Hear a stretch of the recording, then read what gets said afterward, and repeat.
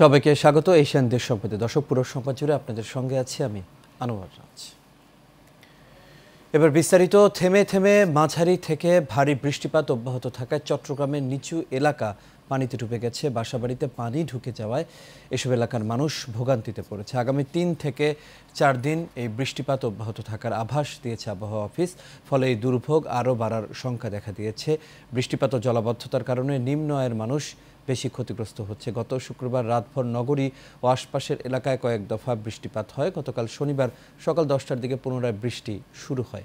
প্রায় দুই ঘণ্টার টানা ভারী বর্ষণে নিচু এলাকা প্লাবিত হয়। এদিকে চট্টগ্রামে ঘরের দেয়াল ধসে এক শিশুর মৃত্যু হয়েছে। বাঁশখালী উপজেলার বৈলগাঁও দুই নম্বর ওয়ার্ডে শনিবার গভীর রাতে এই ঘটনা ঘটে বলে জানিয়েছে পুলিশ। আনুমানিক পাঁচ বছর বয়সী ওই শিশুটির নাম মোহাম্মদ মেজবা। সে ওই এলাকার রফিকুল আলমের ছেলে।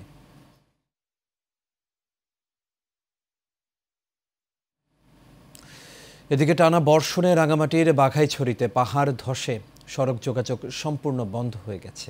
দুপুরে বাঘাইছড়ি উপজেলার মারিশা দীঘিনাল সড়কের ষোলো কিলোমিটার দুই টিলা এলাকায় এই ঘটনা ঘটে। বাঘাইছড়ি উপজেলা নির্বাহী অফিসার রুমানা আক্তার জানান, রাতে ভারী বৃষ্টি ও উজান থেকে নেমে আসা পাহাড়ি ঢলে একটি গাছসহ পাহাড়ের মাটি ধসে পড়েছে। খাগড়াছড়ি সড়ক জনপদ বিভাগের একটি দল ঘটনাস্থলে, ঘটনাস্থল থেকে মাটি সরানোর কাজ শুরু করেছে। এই সড়কের আঠারো কিলোমিটার এলাকা জুড়ে দশটি পয়েন্টে পাহাড় ধসের ঝুঁকি আছে বলেও জানান তিনি।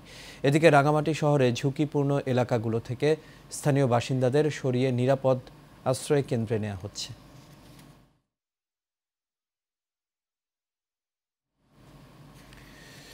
এছাড়াও রাঙামাটিতে কয়েকদিনের ভারী বর্ষণ অব্যাহত থাকায় উজান থেকে নেমে আসা পাহাড়ি ঢলে রাজস্থলীর বিভিন্ন এলাকার নির্মাঞ্চল প্লাবিত হয়েছে, পানিবন্দী হয়ে পড়ছে কয়েকশো পরিবার।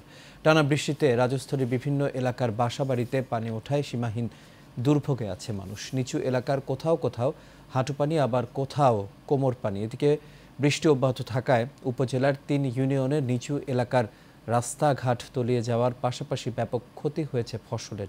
তলিয়ে গেছে বহু মাছের ঘের। বাঙালহালিয়া বাজারে প্লাবিত হওয়ায় বন্ধ রয়েছে দোকানপাট। প্লাবিত এলাকার লোকজনকে নিরাপদ আশ্রয় নিতে খোলা হয়েছে সাতটি আশ্রয় কেন্দ্র। এছাড়াও ক্ষতিগ্রস্তদের তালিকা করে ত্রাণ সহায়তার আশ্বাস দিয়েছে উপজেলা প্রশাসন।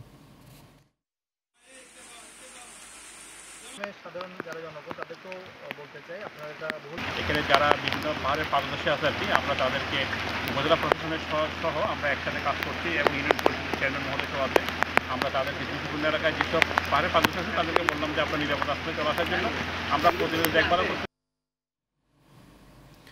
টানা বৃষ্টি আর জোয়ারের পানিতে ভোলার বিভিন্ন উপজেলার নিম্নাঞ্চল প্লাবিত হয়েছে। সবচেয়ে বেশি ক্ষতিগ্রস্ত হয়েছে সদর উপজেলার রাজাপুর ও চর ফ্যাশন উপজেলার ঢালচর, চর নিজাম এবং মনপুরা উপজেলার চর জ্ঞান, চর যতীন ও সোনার চর, কলাতলির চার চরসহ অন্তত বারোটি গ্রাম পানিবন্দী হয়ে চরম ভোগান্তিতে কয়েকশো পরিবার।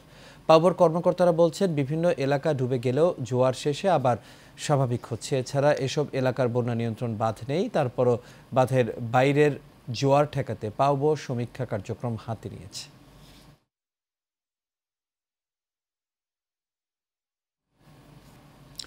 মুন্সিগঞ্জে লৌহজংয়ে বালখেটের ধাক্কায় পিকনিকের ট্রলার ডুবির ঘটনায় নারী ও শিশু সহ নয়জনের মরদেহ উদ্ধার করা হয়েছে। গেল রাত সাড়ে আটটার দিকে লৌহজং টঙ্গিবাড়ি উপজেলার মাঝামাঝি ইচ্ছামতি নদীর ডহরি তালতলা খালের রসকাঠি এলাকায় ওই দুর্ঘটনা ঘটে। অন্ধকার, তীব্র স্রোত ও প্রতিকূল আবহাওয়ার কারণে উদ্ধার অভিযানে বেগ পেতে হয়। পরে রাত দুইটার দিকে উদ্ধার অভিযান বন্ধ করে দেওয়া হয়। পরে ভার থেকে, পরে ভোর থেকে পুনরায় উদ্ধার অভিযান শুরু করে ফায়ার সার্ভিস। ট্রলারটিতে ছেচল্লিশ জন যাত্রী ছিল, চৌত্রিশ জনকে জীবিত উদ্ধার করা হয়েছে। নিখোঁজ রয়েছেন আরও বেশ কয়েকজন। ট্রলার ডুবির ঘটনায় পাঁচ সদস্যের একটি তদন্ত কমিটি গঠন করা হয়েছে। এবং সেখানে ছেচল্লিশ জনের মতো যাত্রী ছিলেন। অলরেডি চৌত্রিশ জন তারা উপরে উঠতে পেরেছেন। আর আমরা ইতিমধ্যে নয়টি লাশ সেখানে সন্ধান পাওয়া গিয়েছে।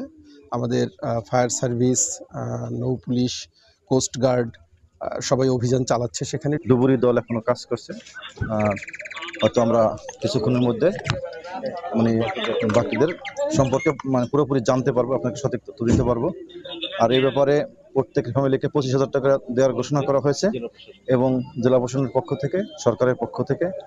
আর যে বাল্কহেডটি সংঘর্ষ ঘটিয়েছে, তাদের বিরুদ্ধে আমরা আইনানুগ ব্যবস্থা নিব। বগুড়ার শিবগঞ্জ উপজেলায় বৈদ্যুতিক শর্ট সার্কিটের আগুনে পুড়ে নাসিমা খাতুন নামে এক গৃহবধূর মৃত্যু হয়েছে। ভোরে উপজেলার আটমুল ইউনিয়নের নান্দুরা গ্রামে এই ঘটনা ঘটে। মৃত নাসিমা একই গ্রামের নজরুল ইসলামের স্ত্রী বিষয়টি নিশ্চিত করেছেন শিবগঞ্জ থানার ওসি মোহাম্মদ আব্দুর রৌফ। তিনি বলেন, বৈদ্যুতিক শর্ট সার্কিট থেকে নাসিমার বাড়িতে আগুন লাগে। ওই সময় পরিবারের অন্য সদস্যরা বাড়ি থেকে বের হলেও নাসিমা আটকা পড়েন। এতে দগ্ধ হয়ে ঘটনাস্থলেই মারা যান তিনি।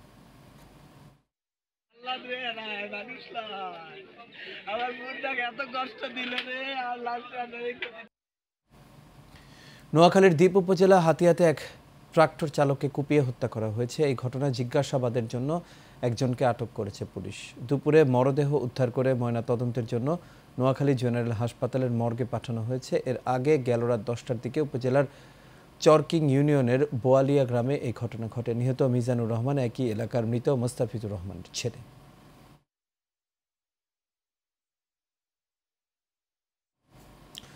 চাঁপাইনবাবগঞ্জ সদর উপজেলার বুলনপুরে ট্রাকের ধাক্কায় অটোরিকশার এক যাত্রী নিহত হয়েছেন। এতে আহত হয়েছেন আরও ছয়জন। সকালে সদর উপজেলার আতাহার নাচল সড়কে এই ঘটনা ঘটে। পুলিশ জানায়, সকাল আটটার দিকে সাদিকুল ইসলাম সহ ছয়জন অটোরিকশা যুগে আমনুরা এলাকায় কাজে যাওয়ার সময় সড়কের বুলনপুর এলাকায় আসলে দ্রুতগতির একটি ট্রাকের সাথে সংঘর্ষ হয়। এতে ঘটনাস্থলে সাদিকুল ইসলাম মারা যান। এই সময় আহত হয় আরও ছয়জন পরে তাদের উদ্ধার করে জেলা সদর হাসপাতালে ভর্তি করা হয়।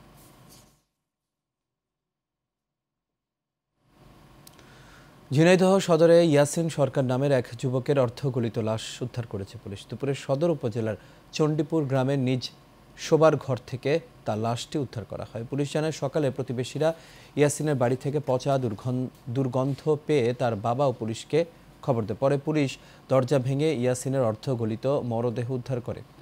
ইয়াসিন দীর্ঘদিন ধরে মাদকাসক্ত ছিল। ধারণা করা হচ্ছে মাদকাসক্তির কারণেই তার মৃত্যু হয়েছে। গাজীপুরের শ্রীপুরে মা বোন হত্যাকাণ্ডের ঘটনায় মামলার এক সাক্ষীর মরদেহ উদ্ধার করেছে পুলিশ। সকালে উপজেলার প্রহ্লাদপুর ইউনিয়নের কাচারিপাড়া গ্রামে এই ঘটনা ঘটে। নিহত শাহজাহান মিয়া উপজেলার প্রহ্লাদপুর ইউনিয়নের কাচারিপাড়া গ্রামের মৃত আমির উদ্দিনের ছেলে। ঘটনাস্থল পরিদর্শন করেছে পুলিশ। মরদেহ উদ্ধার করে এরই মধ্যে ময়নাতদন্তের জন্য গাজীপুর শহীদ তাজউদ্দিন আহমদ মেডিকেল কলেজ হাসপাতালের মর্গে পাঠানো হয়েছে।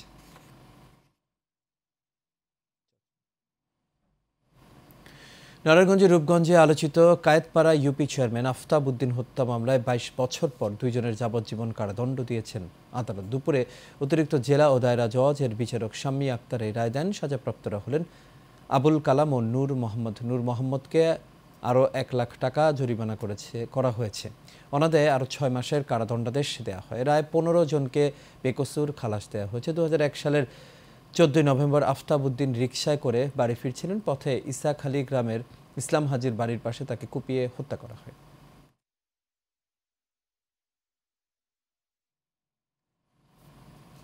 পাবনা বিজ্ঞান ও প্রযুক্তি বিশ্ববিদ্যালয়ের বিভিন্ন প্রকল্পে প্রায় একশো পঞ্চাশ কোটি টাকা অনিয়মের অভিযোগ উঠেছে। অডিটে বিষয়টি ধরা পড়ায় আপত্তি দিয়েছে শিক্ষা অধিদপ্তরের অডিট বিভাগ। এ বিষয়ে যোগাযোগ করা হলেও কোনো কথা বলতে রাজি হয়নি বিশ্ববিদ্যালয় কর্তৃপক্ষ। পাবনা থেকে মোহাম্মদ ফজলুল হকের প্রতিবেদনে বিস্তারিত জানাচ্ছেন সবই আয়াত। মহা হিসাব নিরীক্ষক ও নিয়ন্ত্রক থেকে প্রকাশিত দু হাজার বাইশ তেইশ নিরীক্ষা বছরের অডিট রিপোর্টে পাবনা বিজ্ঞান ও প্রযুক্তি বিশ্ববিদ্যালয়ের বিভিন্ন প্রকল্পের তিরিশটি বিষয়ের উপর আপত্তি এসেছে। এর মধ্যে বিশ্ববিদ্যালয়ের চলমান উন্নয়ন প্রকল্প নিয়ে পনেরোটি বিষয়ে রয়েছে আপত্তি। রিপোর্টে চলমান উন্নয়ন প্রকল্পের টাকা লোপাটের বিষয়টিও উঠে এসেছে। দুর্নীতি একা একা করা যায় না, তার ডালপালা ছাড়া করা যায় না। তার সাথে যারা সম্পর্কিত এখানে প্রশাসন জনপ্রতিনিধি বিশ্ববিদ্যালয় মঞ্জুরি কমিশন দুর্নীতি দমন কমিশন যেই দুর্নীতি করে তার ভাগ দিয়েই করতে হয়। বরাদ্দকৃত অর্থের যথাযথ ব্যবহার হলে উপকৃত হতো শিক্ষার্থীরা পাশাপাশি বিশ্ববিদ্যালয় পরিণত হতো দেশের প্রথম সারির বিদ্যাপীঠ হিসেবে এমনটি মনে করছেন সচেতন মহল। দেখা গেছে এক শ্রেণির দুর্নীতিবাজ শিক্ষক তারা এই অর্থটাকে লুটেপুটে খেয়েছে। সেই কারণে এই অডিট আপত্তি এসছে। এখানে যারা এই ঘটনার সঙ্গে জড়িত তাদের দৃষ্টান্তমূলক শাস্তি হওয়া উচিত। যোগাযোগ করা হলেও অডিট আপত্তির বিষয়ে কথা বলতে রাজি হয়নি বিশ্ববিদ্যালয় কর্তৃপক্ষ। এভাবে তো হয় না একটা জিনিসের সব কিছুর প্রস্তুতি থাকা লাগবে। একটা জিনিসের হয় নাকি দেখছেন আমি কি ছোটাছুটি করতে আমার তদন্ত রিপোর্ট আছে তো। না উনি সব দায়িত্ব আমার পার্সোনাল ই করছে আমি কথা বলার জন্য আপনাদের সাথে আমার আর মিটিং করার ইচ্ছা নাই। তো আপনারা আমাদেরকে বদনাম করে শেষ করছেন। ওকে বিশেষ আমাকে। অনিয়মের বিষয়ে তদন্ত করে কর্তৃপক্ষ দ্রুত যথাযথ ব্যবস্থা নিবে এমনটাই প্রত্যাশা শিক্ষার্থীদের। সৌবি আয়াত এশিয়ান টেলিভিশন। দর্শক দেশ সংবাদে একটা বিরতি নিচ্ছি ফিরছি একটু পর আমাদের সঙ্গী থাকুন।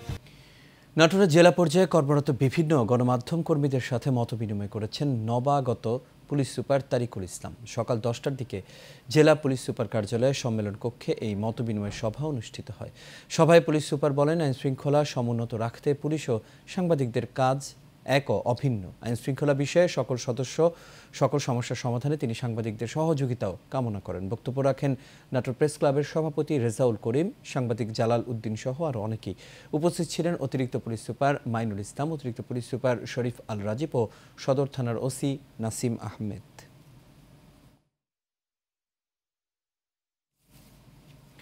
কুমিল্লার চোদ্দ গ্রামে পূর্ব বিরোধের জের ধরে পাঁচজনকে কুপিয়ে আহতের ঘটনা ঘটেছে। এ সময় ব্যবসা প্রতিষ্ঠান ও বাড়ি ঘরে হামলা, ভাঙচুর, লুটপাট করা হয়। উপজেলার কাশীনগর ইউনিয়নের যাত্রাপুর গ্রামে এই ঘটনাটি ঘটে। যাত্রাপুর গ্রামে অজ্ঞাতনামা শতাধিক সন্ত্রাসী বাহিনী, দেশীয় অস্ত্র শস্ত্র নিয়ে আইয়ুব আলীর ব্যবসা প্রতিষ্ঠান মেসার্স আনিকা এন্টারপ্রাইজ ও তার বাড়ি ঘরে হামলা ভাঙচুর ও লুটপাট করে। এতে বাধা দিলে হামলাকারীদের এলো পাতারি কোপ ও লাঠির আঘাতে পাঁচজন গুরুতর আহত হয়। স্থানীয়রা আহতদের উদ্ধার করে কুমিল্লার সদর হাসপাতালে ভর্তি করে।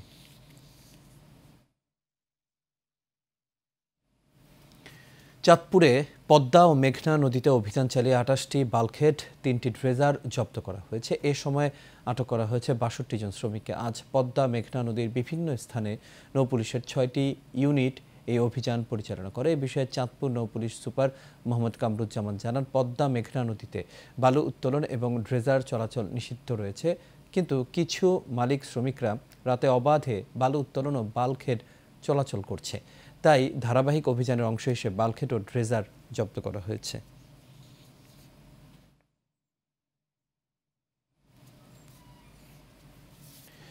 চট্টগ্রাম নগরীর উত্তর কাঠটলির পোর্ট কানেক্টিং এলাকায় জেলে সম্প্রদায়ের মাঝে ডেঙ্গু রোগের সচেতনতার প্রায় দুশো মশারি ও খাদ্য সামগ্রী বিতরণ করা হয়েছে। Lions Club of Chittagong, cosmo ভ্যালির club secretary lioness M Abul কাশেমের সঞ্চালনায় ও লায়ন মোহাম্মদ টিপু সুলতান চৌধুরীর সভাপতিত্বে এতে প্রধান অতিথি ছিলেন লায়ন্স ক্লাব ইন্টারন্যাশনাল ডিস্ট্রিক্টের পিডিজি লায়ন শেখ শামসুদ্দিন আহমেদ সিদ্দিকি। বিশেষ অতিথি ছিলেন পিডিজি লায়ন সিরাজুল হক আনসারি, দ্বিতীয় ভাইস জেলা governor lion Moseley Uddin Apu সহ আরও অনেকে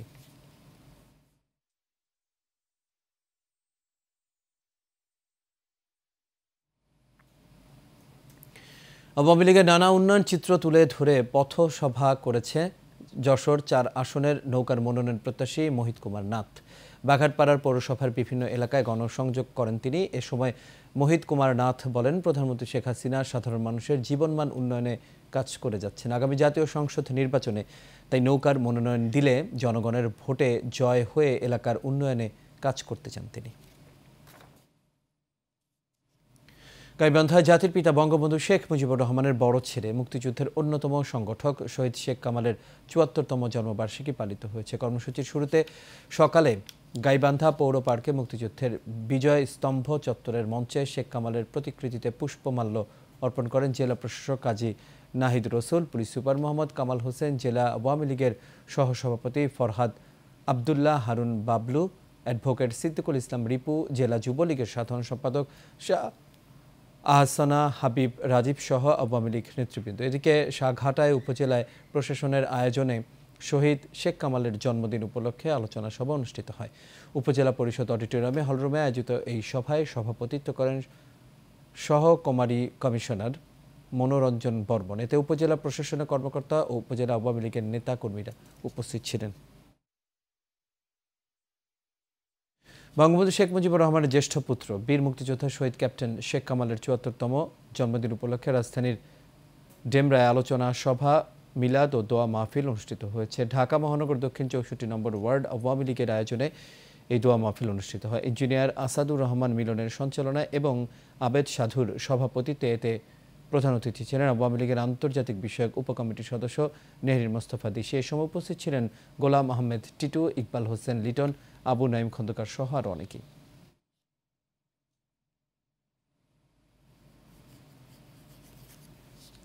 বঙ্গবন্ধু শেখ মুজিবুর রহমানের জ্যেষ্ঠ পুত্র শহীদ ক্যাপ্টেন শেখ কামালের চুয়াত্তরতম জনবার্ষিক উপলক্ষে মালদ্বীপ হাইকমিশনারের উদ্যোগে আলোচনা সভা ও দোয়া অনুষ্ঠানের আয়োজন করা হয়েছে। এতে প্রধান অতিথি হিসেবে উপস্থিত ছিলেন মালদ্বীপ হাইকমিশনারের প্রধান rear admiral S M Abul Kalam Azad. বিশেষ অতিথি হিসেবে উপস্থিত ছিলেন মিশনের কাউন্সিলর মোহাম্মদ সোহেল পারভেজ এই সময় বক্তব্য রাখেন মালদ্বীপ আওয়ামী লীগের সভাপতি দুলাল মাতবর, সাধারণ সম্পাদক দুলাল হোসেন সহ আরও অনেকেই। গাজীপুরের কালিয়াকৈরে উপজেলার ঢালঝোড়া ইউনিয়নে বীর মুক্তিযোদ্ধা মরহুম আলতাফ হোসেন স্মৃতি গোল্ড কাপ ফুটবল টুর্নামেন্টে প্রথম রাউন্ডের দ্বিতীয় খেলা অনুষ্ঠিত হয়েছে। খেলায় গোলাকান্দা সানরাইজ ইউথ ক্লাবকে টাই ব্রেকারে পাঁচ তিন গোলে হারিয়ে বিজয়ী হয় কোনাবাড়ি রাসেল খেলাঘর। উপজেলার বেনুপুর চেয়ারম্যান বাড়ির আয়োজনে বজুর রহমান উচ্চ বিদ্যালয় মাঠে এই ফুটবল অনুষ্ঠিত হয়। উপস্থিত ছিলেন ঢালছোড়া ইউনিয়ন পরিষদের চেয়ারম্যান ইসামুদ্দিন সহ আরও অনেকে।